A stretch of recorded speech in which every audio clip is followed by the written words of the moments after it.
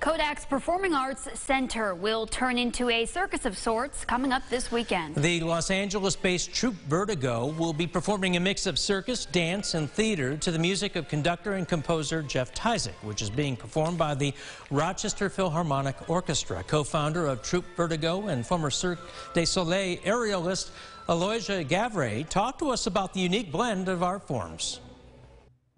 It's quite a challenge to be able to stage and create shows with the incredible sonic, symphonic compositions. It's a, it's a big feat of competition because just what the musicians are doing is enough. You don't need much more than that. So we have to really up our game and make sure that the artistry and the mastery of what we're doing matches them.